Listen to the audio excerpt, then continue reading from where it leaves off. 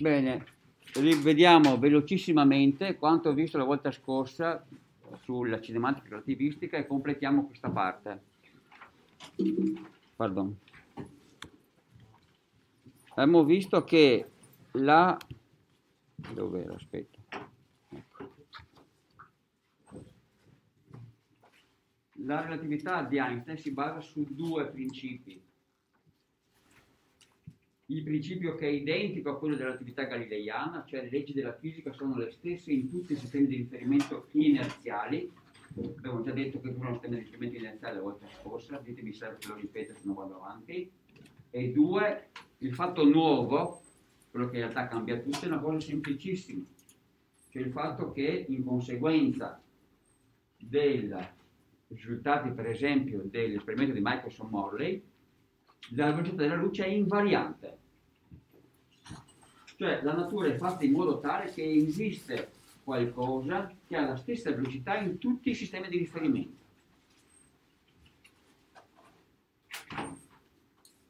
Questo cambia tutto, cambia il concetto di spazio, di tempo, cinematica, massa, energia, dinamica. Abbiamo visto in particolare la volta scorsa come costruire un orologio. Perché? Perché questo ci dice qual è la nuova, la, nuova, la natura relativistica del tempo. E per farlo abbiamo usato un semplicissimo processo, una emissione, una riflessione, una recezione di un segnale luminoso, viste due sistemi di riferimento diversi. Questo fa sì che abbiamo visto anche la, la relatività della, del, della simultaneità. Questo fa sì che due sistemi di riferimento distinti sempre inerziali, danno una misura, cioè con il loro orologio, da due letture diverse, a seconda che siano il sistema di riferimento in cui il tempo è proprio, cioè misurano intervalli di tempo di fenomeni che avvengono nello stesso luogo, detto, detto in soldoni, un sistema di riferimento in cui l'orologio è fermo, oppure un sistema di riferimento in cui ciò che devo misurare comporta un processo che avviene in luoghi diversi, come quello in cui l'emissione e la ricezione del segnale luminoso avviene in posti diversi, cioè quello in cui vedo la mia astronave che si muove. Nel sistema in cui l'astronave si muove, io misuro un tempo più lungo, il tempo viene dilatato, d'accordo? Di un fattore gamma, fattore di Lorentz gamma. E abbiamo visto che questo effetto è misurabile, è stato misurato. E non solo, ma viene applicato tutti i giorni, per esempio in, nel contesto del, del, del GPS. Il sistema GPS, il Global Positioning System, è stato costruito per monitorare la posizione di oggetti sulla superficie della Terra e non funzionerebbe, cioè avrebbe errori di chilometri errori che si accumulerebbero nel tempo se non tenesse conto degli effetti relativistici. Qui ho leggermente barato perché? Perché in realtà gli effetti della relatività generale sono più intensi addirittura di quelli della relatività speciale. Cioè il fatto che, se avremo modo di arrivarci, i due, due luoghi dove si trovano quello che usa il sistema GPS, cioè il tizio che sta sulla Terra, se io ho il cellulare voglio andare in un, in un indirizzo dove devo, devo, devo, recarmi e uso la, per esempio Google Maps che usa il GPS, sono in un posto dove la gravità ha un certo valore, mentre il satellite sta in un posto dove la gravità ha un altro valore. E questa differenza produce l'effetto più intenso. Però ripeto, non so se riusciremo ad arrivare a quello, però si tiene conto anche dell'effetto dell'attività speciale, cioè il fatto che i due sistemi sono in modo relativo eh, diverso, una certa velocità l'uno rispetto all'altro. Abbiamo il filmato. Sempre l'invarianza della velocità della luce ha effetti anche sulle lunghezze, sullo spazio, sul concetto di come misuro le distanze. E qui in realtà gli effetti sono diversi a seconda che misuro le distanze di punti che si trovano a una distanza perpendicolare alla direzione del moto oppure lungo la direzione del moto. Se misuro un oggetto che si muove lungo, cioè che ha una distanza parallela alla direzione della velocità, ho un effetto di contrazione delle lunghezze, cioè vedo un oggetto più schiacciato nella direzione del moto, mentre perpendicolarmente al moto la lunghezza non cambia e la contrazione è un valore 1 su gamma, che è inverso a quello del tempo. Mentre perpendicolarmente alle, al moto le lunghezze rimangono invariate.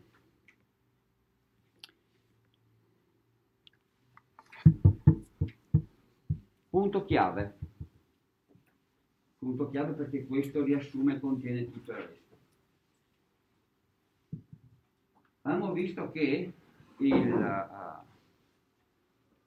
formalmente l'incompatibilità tra la relatività galileiana e le equazioni di Maxwell è legata a come si compongono le velocità o, se preferite, a come passa da un sistema di riferimento a un altro.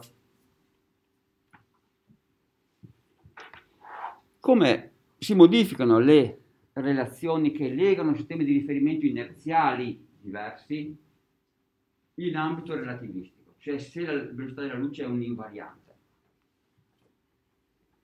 Beh, il, questa serie di regole, che si chiamano leggi di trasformazione, per Galilei le abbiamo già viste, immaginiamo proprio di avere, come avevamo già visto, i due tizi, uno sul treno che viaggia, l'altro il parente, l'amico che saluta dalla stazione, allora le, eh, le leggi della, di trasformazione, cioè come metto d'accordo il sistema del tizio che sta fermo in stazione e il sistema del viaggiatore sul treno, sempre che si muovono con velocità relativa uniforme, attenzione, sono il fatto che la posizione rispetto alla stazione è quella rispetto al treno più lo spostamento del treno, velocità per tempo, mentre le coordinate perpendicolari al moto rimangono invariate.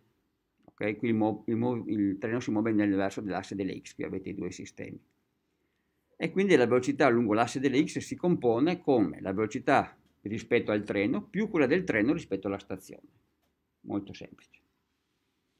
D'accordo? E le accelerazioni rimangono invariate, attenzione. Questo l'abbiamo anche verificato sperimentalmente, finché la velocità è piccola non, non c'è problema. Che succede invece se devo tener conto degli effetti relativistici sullo spazio e sul tempo appena visti. Beh, in parte si modifica un po' eh, l'ultima parte, ecco. La posizione del viaggiatore rispetto alla stazione, cioè la coordinata x, sarà lo spostamento del treno VT, ok? Che questa volta è rappresentato da questa grandezza, a cui viene affiancato non tanto x', perché x' sarebbe la coordinata, la posizione dell'oggetto che viaggia rispetto al treno, ma io nel mio sistema di riferimento quella distanza, quella posizione la vedo compressa, la vedo accorciata per il fattore di Lorentz, di cui devo tener conto. Quindi qui avrò x' per radice di 1 meno v quadro su c quadro. Ok? Qui risolvo rispetto a x', che è la mia incognita, e vedo che la coordinata, la posizione dell'oggetto, del person- della persona che viaggia sul treno rispetto al treno è quella del mio sistema di riferimento meno Vt fratto il fattore di Lorentz, 1 radice di 1 meno V quadro. In modo del tutto analogo posso ricavare come si trasforma la coordinata tempo qui algebricamente è un poco più lungo, ma il principio è lo stesso. Per esempio posso andare a scrivere la, il moto di un fronte d'onda in un sistema di riferimento e in un altro. Okay, qui avete l'equazione. Siccome la velocità della luce è la stessa, C è la stessa in un sistema e nell'altro. La novità notevole è il fatto che qui, come vedete, il tempo si trasforma non solo in funzione del tempo, cioè T', il sistema la coordinata temporale misurata dal tizio che viaggia non solo non è la stessa rispetto a quello alla, al valore del tempo della persona che sta ferma in stazione, ma dipende anche dalla posizione. Questo era inconcepibile in ambito della, della relatività di, di Galileo e di Newton. Cioè, la coordinata temporale l'etichetta tempo che io appiccico a un evento, a qualcosa che succede, dipende non solo dal tempo, ma anche da dove avviene.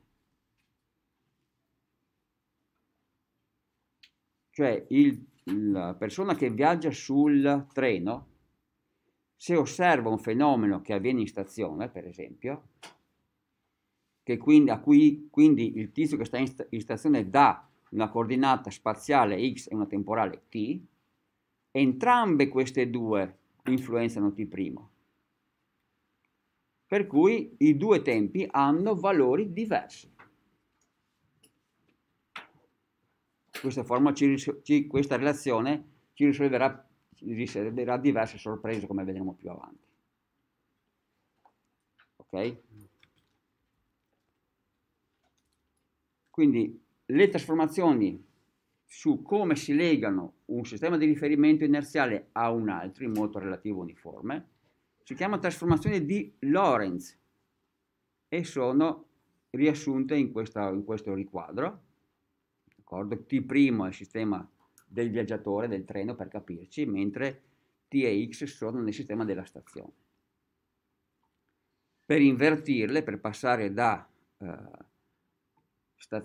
a, da, da treno a stazione, basta cambiare il segno della velocità.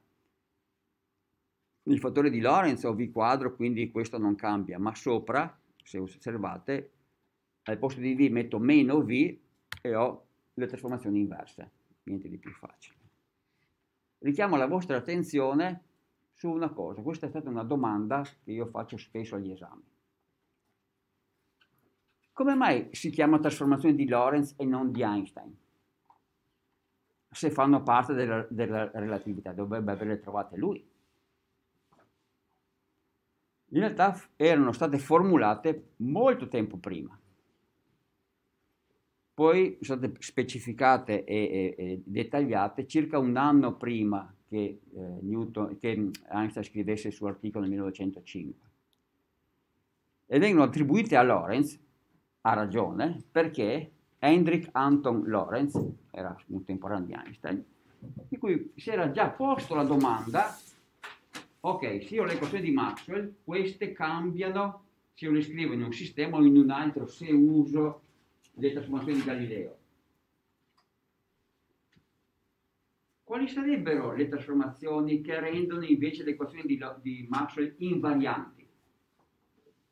Cioè, siccome le trasformazioni di Maxwell sono importanti e descrivono l'elettrodinamica in tutti i sistemi di riferimento, visto che la luce è la stessa dappertutto, che conformazione, che struttura dovrebbero avere delle trasformazioni che le lasciano uguali a quali sono? Perché se io, se io uso le trasformazioni di Galileo, appaiono nelle equazioni di, di, di Lorentz, di, nelle equazioni di Maxwell, termini che prima non c'erano.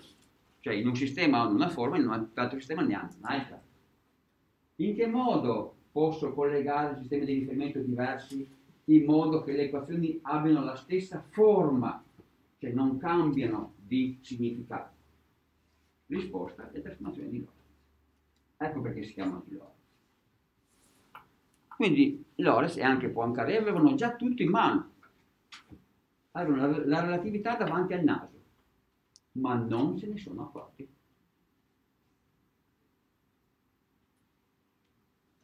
non hanno realizzato le conseguenze.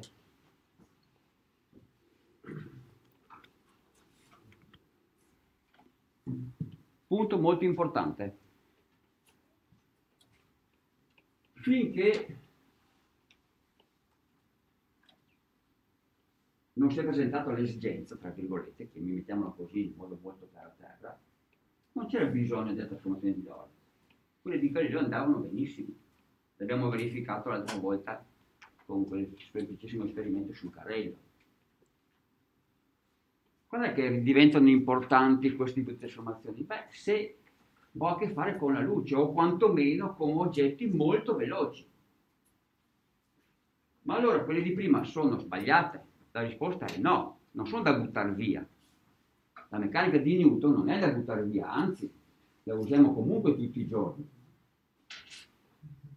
la nuova meccanica, la nuova cinematica include quella di Newton e di Galileo come caso speciale, cioè è una generalizzazione. vale in casi più ampi e quella di Newton, e quindi le trasformazioni di Galileo, sono un caso limite, un caso semplice in cui ho a che fare con velocità molto piccole. Quando le velocità sono molto più piccole rispetto a quelle della luce, che sono le velocità con cui abbiamo a che fare tutti i giorni, allora mi vanno bene quelle di Galileo. Dire velocità piccole è equivalente a dire velocità della luce infinitamente grande. Okay? Se io applico un limite per c che diverge alla trasformazione della posizione, qui ottengo che questo denominatore va a 0, quindi qui rimane radice di 1, per cui il denominatore, il fattore di Lorentz, diventa 1. Quindi ritrovo la legge di Galilei. Ritrovo le vecchie trasformazioni. Idem per il tempo. Se c diverge, il denominatore va a 1 e la seconda parte del numeratore tende a 0. Quindi t diventa t', il tempo diventa assoluto. Anche il senso la cifra è costante. Certo, però eh, se dire fisicamente le mie velocità sono molto piccole è equivalente a dire che la velocità della luce diventa infinitamente grande rispetto a quelle con cui ho a che fare. Okay? Perché? Perché fisicamente, anzi matematicamente, se io faccio tendere via zero sparisce anche questo termine, quindi ho tutto fermo. Oppure se, se voi possiamo vedere anche in questo modo. Se vivessimo in un universo in cui la luce ha velocità infinita, o meglio, come vedremo a breve, se fosse possibile che esistano oggetti che si muovono a velocità infinita, allora non esisterebbe la relatività Einstein. Sarebbe un universo in cui tutto va come predice Galileo e Newton. Ma in quell'universo la, le equazioni di Maxwell avrebbero un'altra forma.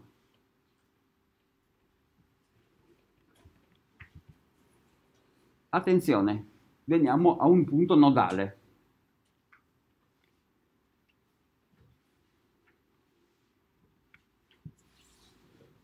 Proviamo a ottenere dalle equazioni che abbiamo appena visto, cioè dalle trasformazioni di, Lorentz, la legge di composizione delle velocità, che è quella che ci interessa in particolare.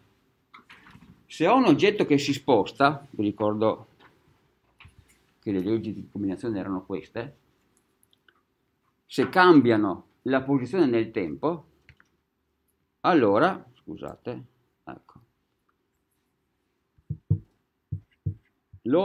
l'intervallo temporale nel sistema di riferimento della stazione vale gamma volte quello del, nel sistema di riferimento del treno più v lo spostamento rispetto al treno moltiplicato per c per, per v diviso c quadro.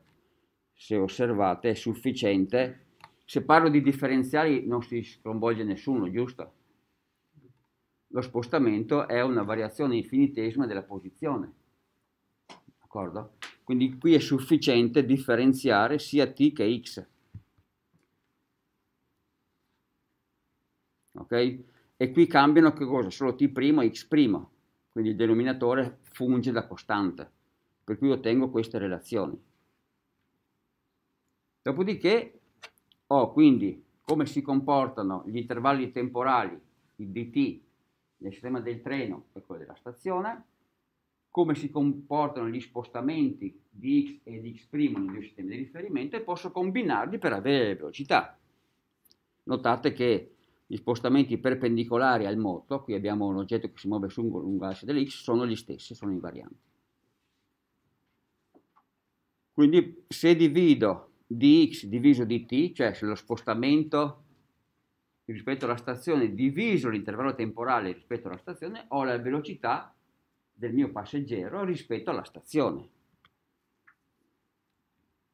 E questa posso confrontarla con la velocità del passeggero rispetto al treno, che sarebbe un primo. Quindi dividendo dx su dt, cioè la velocità, o se preferite potete usare anche dei delta delle grandezze finite, lo spostamento del passeggero rispetto alla stazione. In termini di intervallo temporale sempre rimisurato rispetto alla stazione, cioè dx su dt, lo ottengo semplicemente facendo il rapporto di queste due grandezze, questa fratto questa. Qui raccolgo un dt' e lo semplifico sopra e sotto e ottengo questa espressione. La velocità rispetto alla stazione vale la velocità rispetto al treno più quella del treno rispetto alla stazione diviso questo termine che prima non c'era. In Newton e Galileo questo non c'è. 1 più la velocità del treno rispetto alla stazione diviso c quadro per la velocità del passeggero rispetto al treno.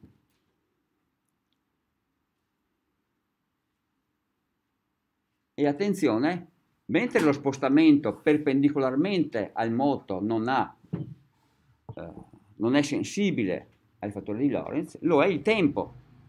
Quindi cambiano non solo la velocità lungo l'asse delle x, ma anche quella lungo l'asse delle y e delle z. Perché? Perché cambia di t.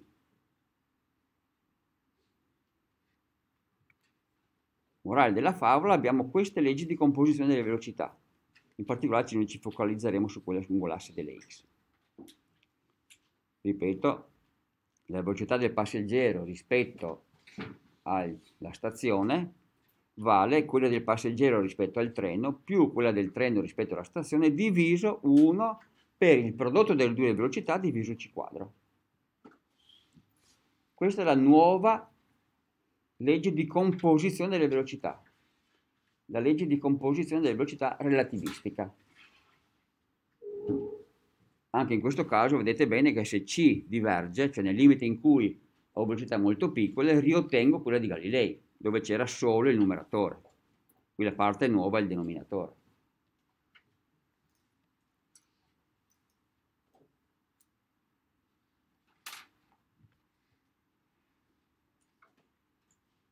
Quindi è coerente con quanto visto prima. Se ho a che fare con velocità piccole, con, quindi, quindi, quindi con particelle non relativistiche, come si dice, allora posso benissimo usare le trasformazioni di Galilei, perché la parte al denominatore va a 1, quindi questo fattore che decresce come c quadro va a 0 velocemente. Ricordate che abbiamo, siamo partiti dal paradosso che se fossero corrette le trasformazioni di Lorentz, dei circolati di Galilei, allora se per esempio qui una persona ferma sulla strada e qui ho il tizio in auto che si muove con velocità v rispetto a destra, se rispetto all'auto la, lu- la luce si muove con velocità c, allora la persona ferma sotto il lampione dovrebbe misurare v più c nel suo sistema di riferimento. Mentre l'esperimento di Michelson Morris ci ha dimostrato che non è così. E questo viene perfettamente incluso nelle leggi di trasformazione che abbiamo appena visto delle velocità. Se applico la legge appena vista, questa qui, cioè la legge di composizione lungo l'asse delle x delle velocità, alla luce vista dal sistema di riferimento dell'auto e del tizio fermo sulla strada, allora U' è la velocità del, della luce rispetto all'automobile, V è la velocità dell'automobile rispetto alla strada, U è la velocità della luce rispetto alla strada. Ma se U' uguale a C, e lo mettiamo in questa formula, abbiamo che il numeratore è C più V, cioè al posto di U' c'è C. Al denominatore ho C per V diviso C quadro. Queste due C si semplificano, rimane V su C. Se al, num al numeratore raccolgo una C, ho C per 1 più V su C diviso 1 più V su C. Questi due, questi due termini, 1 più V su C, sono identici al numeratore e al denominatore e rimane solo C. Ecco perché qualunque sia V, vedete che qui va via. Anche se l'automobile viaggiasse al 95% della velocità della luce, comunque la velocità della luce rispetto all'auto e rispetto al tizio fermo per strada è esattamente la stessa, indipendentemente da V, V va via. E questo succede solo se stiamo parlando della luce, qualunque altro oggetto che viaggi a velocità diversa da c, okay, non ha questa caratteristica, non ha una velocità invariante. Quindi, morale della favola, le trasformazioni delle velocità appena viste ci garantiscono che la luce ha una velocità invariante in tutti i sistemi di riferimento. Guai se non fosse così, l'abbiamo costruito apposta, però qui l'abbiamo verificato.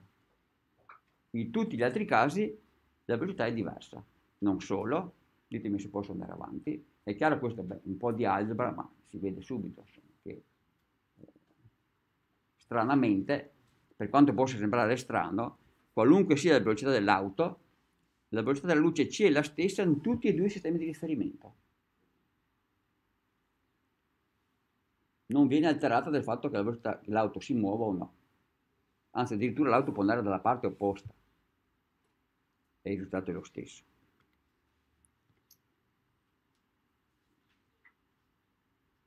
Che succede invece in un, altro, in, in un caso diverso, in un caso in cui parliamo di un oggetto che non è la luce. Beh, in questo caso, se l'oggetto ha una velocità relativistica, cioè se stiamo parlando di frazioni importanti rispetto a c, devo usare, come abbiamo fatto prima, la trasformazione delle velocità di, di Lorentz. Immaginate di avere un'astronave che si muove verso la Terra a metà della velocità della luce, 0,5c, e lancia un carico a velocità di 0,75c rispetto all'astronave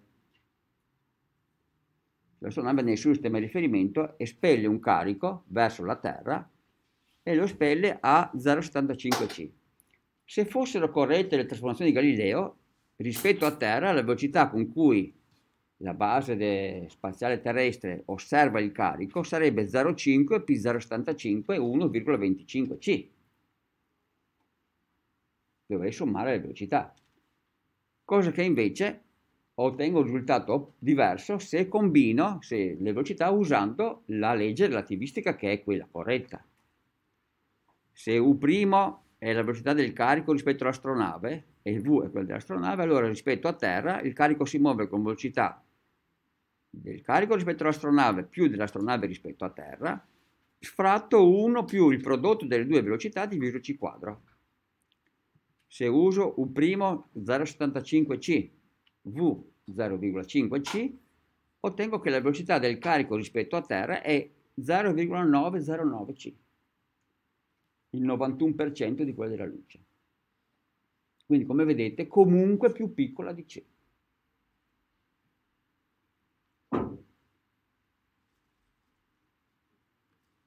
Quindi le velocità non si sommano come prima, ma si sommano in questo modo piuttosto strano, se volete.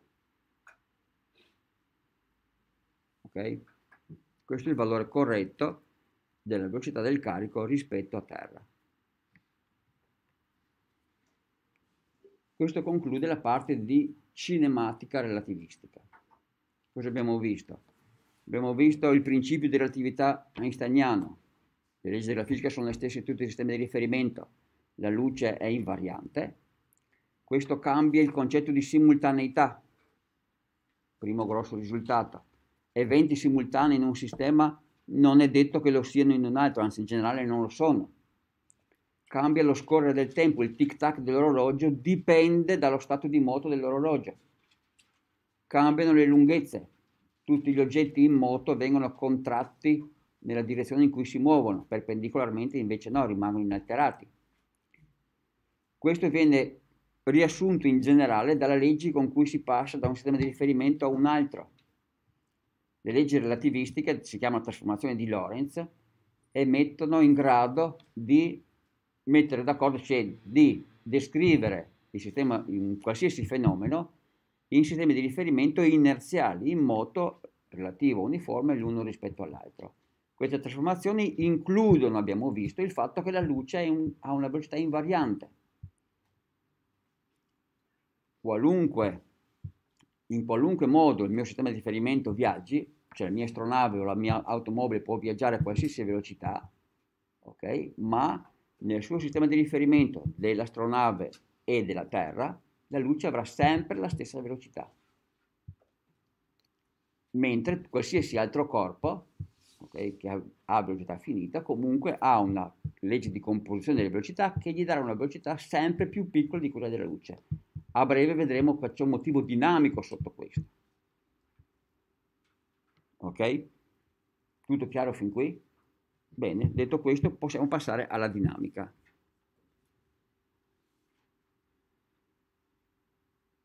Abbiamo tempo solo di iniziarla.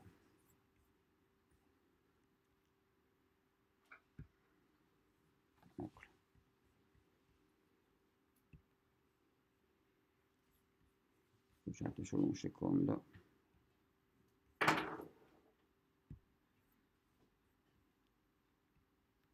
Ok. Cosa si intende per dinamica relativistica? La dinamica è quella parte della meccanica che coinvolge grandezze come la massa, le forze e l'energia. Spazio e tempo li abbiamo già visti, velocità l'abbiamo già vista. Come altra il principio relativistico, il concetto di massa. Questo è quello che abbiamo visto prima, lo riassumo velocemente. Parliamo di una grossa, di una grandezza fisica che ha una enorme importanza, la quantità di moto.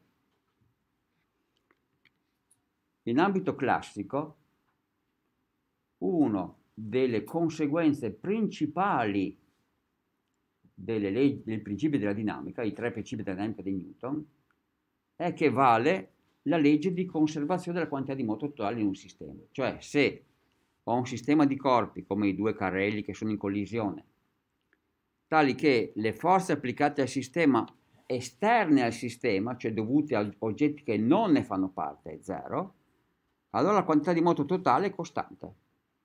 Per quantità di moto cosa intendo? Il prodotto di massa per velocità.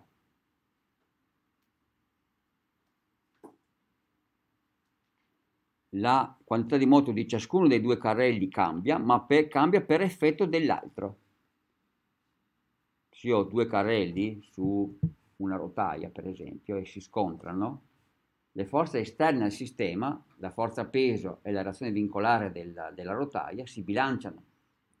Non c'è moto verticale, l'unico moto è orizzontale. Ciascun carrello viene alterato, ha una velocità alterata, subisce un'accelerazione per colpa dell'altro carrello quindi se io prendo sistema carrello A più carrello B, l'insieme dei due carrelli A verifica questa ipotesi, cioè le forze esterne al sistema hanno risultante nulla.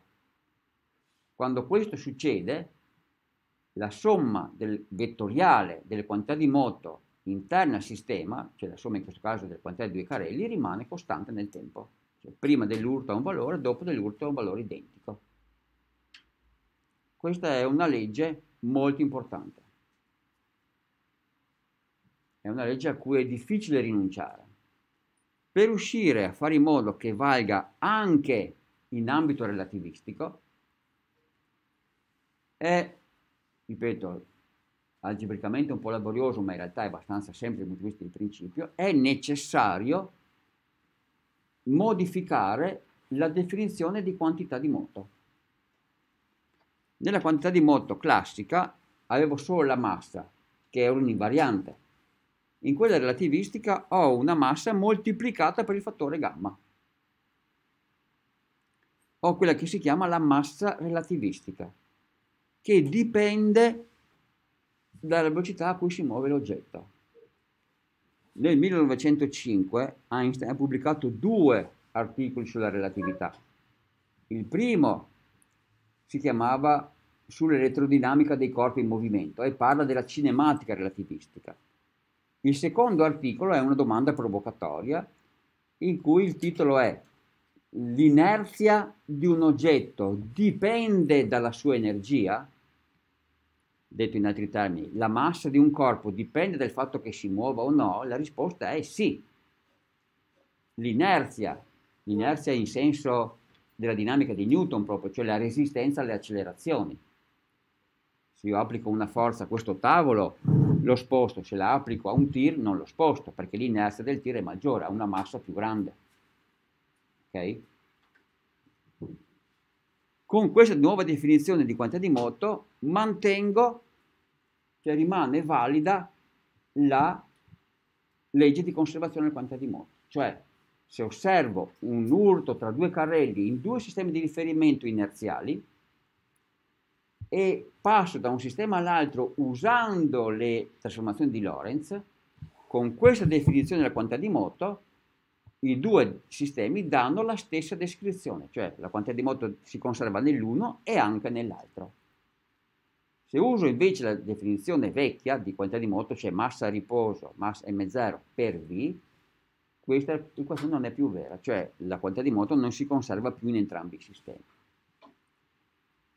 Quindi questa è una motivazione molto forte a cambiare, a generalizzare anche la quantità di moto e in realtà quello che c'è sotto è a considerare una quantità che chiamiamo massa relativistica, che è la massa m0 chiamata massa a riposo, cioè l'inerzia misurata nel sistema di riferimento in cui l'oggetto è fermo quando v è 0, moltiplicata per il fattore gamma, cioè dilatata. Quindi più un corpo si muove, più è difficile accelerarlo, più è alta la sua inerzia. Di nuovo questo è reale, è significativo, lo posso misurare. Paradossalmente la cinematica, che di solito è più semplice, ha avuto verifiche molto più tarde rispetto alla dinamica. Vi ricordate la, l'esperienza di, di, della misura di E su M dell'elettrone fatta da J.J. Thomson a fine del, del 900, dell'Ottocento? Scusate. La scoperta dell'elettrone ha comportato la misura, lo studio dei moti dei, raggi catodici in campo elettrico e magnetico, ha portato alla misura di E su M. Ma Thomson usava elettroni prodotti per termoionizzazione, cioè ha scaldato un, un, un conduttore fornendoci l'energia con calore, alcuni elettroni si staccavano proprio per effetto termoionico e venivano accelerati nel campo elettrico e magnetico. Erano elettroni lenti. Molto più tardi, un certo Kaufmann, un fisico tedesco, ha usato anziché gli elettroni per termoionizzazione, elettroni prodotti dal decadimento radioattivo o radiazione beta. Quelli sono relativistici, hanno velocità molto elevate, sono molto energetici. E ha trovato, quindi l'ha fatto nel 1901, quattro anni prima della relatività, un valore di E su m che era un terzo di quello di, di, di Thompson. E nessuno sapeva il perché. La carica dell'elettrone è un invariante relativistico, sia relativistico che, che anche rispetto alla, alla, alla, fisica classica, non cambia quel modo. Allora com'è che trovo, se ho relati- eh, eh, elettroni relativistici, un E su M diverso? Era un problema aperto. La spiegazione è data solo con la massa relativistica, perché se gli elettroni sono veloci, la loro massa aumenta, quindi E su M diminuisce. E questo, se volete, forse è stato il primo banco di prova delle previsioni relativistiche. Qui avete il grafico dei dati. In ordinata c'è la massa rispetto alla massa a riposo, in ascissa la velocità e questi sono dati, i puntini sono dati sperimentali. La previsione classica sarebbe una retta orizzontale che passa per 1, invece qui la massa diverge. Man mano che approssimo a C la massa ha, una, ha un polo, una divergenza. Quindi più velocemente vado, più l'inerzia del corpo aumenta, quindi più difficile è accelerarlo. E questo è misurabile.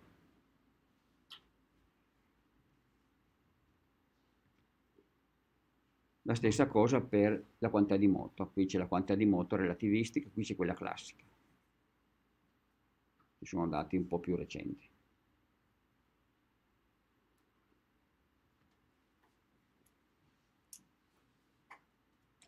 Che cosa comporta questo?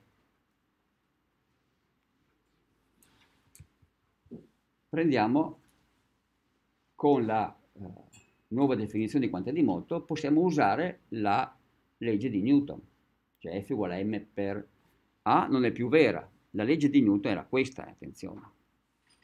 Qui comincia ad esserci una grossa differenza.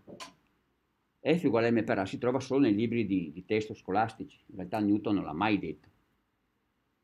La seconda legge della dinamica è la forza, è la rapidità con cui cambia la quantità di moto, o momentum in inglese, dal, dal, dal, dal latino movimentum contratto. Se io utilizzo la vera legge della dinamica, applicata alla massa relativistica, ha un effetto immediatamente molto importante, perché non è più vero che la forza è, è parallela all'accelerazione. Se derivo la quantità di moto ho due termini. Perché? Perché anche la massa dipende dalla velocità, quindi devo derivare anche questa. E oggi mi fermo qui, continuiamo la volta prossima. Quindi avrò un termine parallelo all'accelerazione, ma un termine parallelo alla velocità. Quindi diventa macroscopicamente vero che F non è più M per A. E questa è una cosa di non poco conto. Comunque per oggi, ripeto, ci fermiamo qui. Grazie dell'attenzione.